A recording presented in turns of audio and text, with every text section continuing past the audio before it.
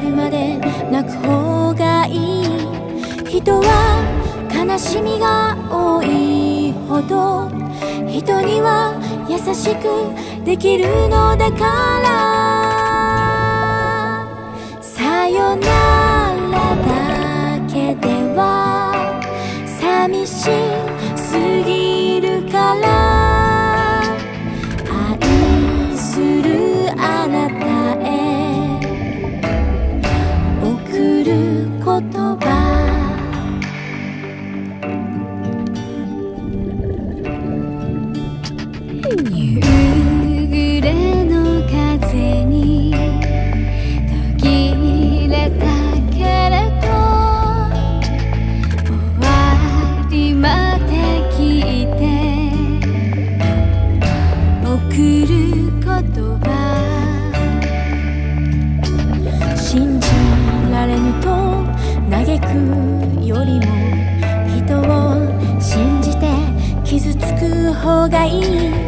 求めないで。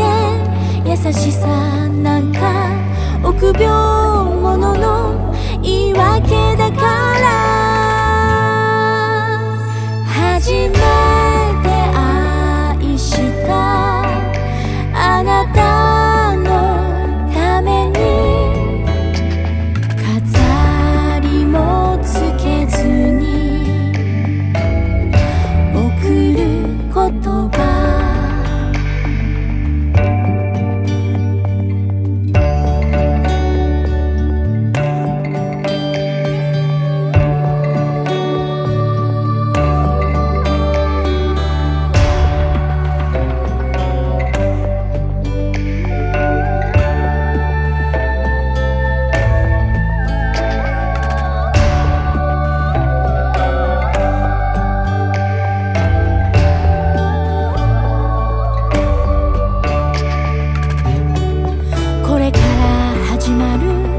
暮らしの中で誰かがあなたを愛するでしょう。だけど私ほどあなたのことを深く愛したやつはい